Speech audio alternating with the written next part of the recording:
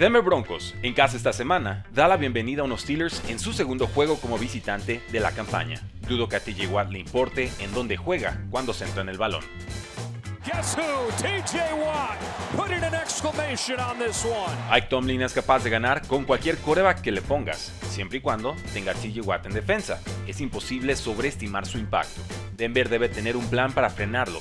Fue dominante contra Falcons. Acabó con el partido. Detuvo la carrera. Presionó al coreback todo el juego. Recuperó fumble. Toda la defensa se alimenta de él. Watt presiona del lado derecho. El tackle derecho de Denver, Mike McGlinchey, tendrá que enfrentarlo. No le fue nada bien la semana pasada. Permitió 5 presiones, esto es, presiona en 10% de sus snaps de protección. El peor del equipo. Complicó la vida a su quarterback novato. Intentará tener su primer buen partido ante el acecho de Watt y posiblemente sin el tackle izquierdo, Garrett Bowles. Se lesionó la semana pasada, aunque se cree que estará bien. El debut de Bo Nix fue complicado, 3.3 yardas por intento de pase, tan bajo que debieron correr todo el partido. Cero touchdowns, dos intercepciones contra Seattle. La segunda entrega cerró cualquier oportunidad de remontada. Desde que soltó el pase, se vio que sería intercepción. Oh. Unix buscó a receptores en casi todos sus targets. Josh Reynolds, 45 yardas. Portland Sutton, 39 yardas. Devon Villay, 39 yardas. Ese trío se enfrenta a una secundaria de Steelers que aprovechó la presión de TJ Watt. Limitaron a Kirk Cousins a 155 yardas, un touchdown y dos intercepciones. El cornerback Joey Porter solo permitió 7 yardas. El cornerback Dante Jackson, rating de 0, dos pases defendidos, intercepción. Dante Jackson. Tal vez Denver dependerá más de su juego terrestre, pero no obtuvo mucho de Javonte Williams y Jaleel McLaughlin. Se combinaron para 18 carreos y 50 yardas. Nix fue su corredor más efectivo, 35 yardas y touchdown.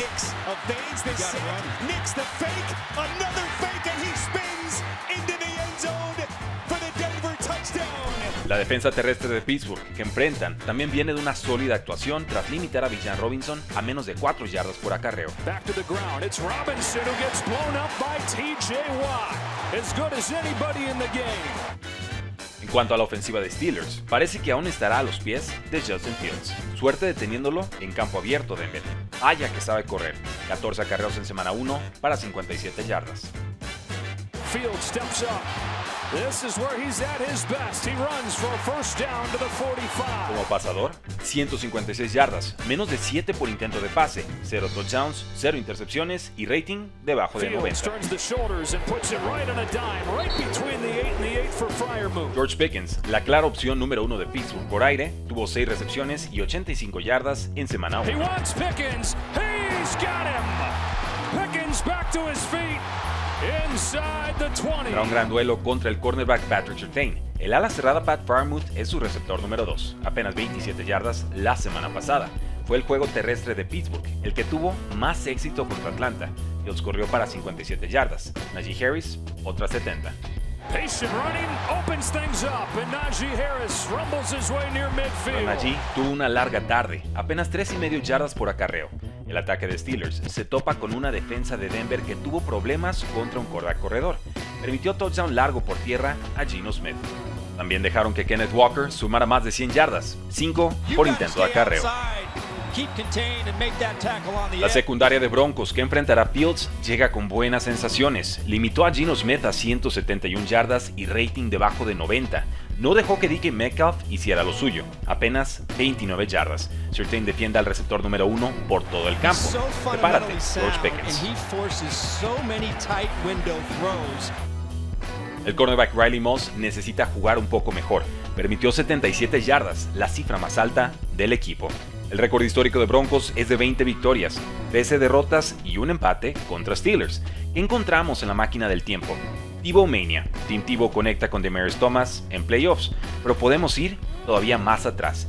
¿Qué tal 1974, año del Super Bowl para Steelers? Empate 35 a 35. Oris Armstrong de Denver, 131 yardas por tierra, 86 por aire y dos touchdowns atrapados, incluyendo el que dio el empate.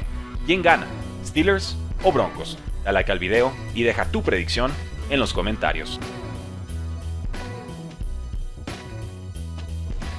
Soy Rudy Jacinto. Te invito a visitar la tienda del éxito, el punto de encuentro para fans del deporte, fantasy fútbol y apuestas. Aquí encontrarás todo nuestro contenido exclusivo, nuestro chat privado con fans, la Academia del Éxito con tutoriales de NFL, fantasy fútbol y apuestas.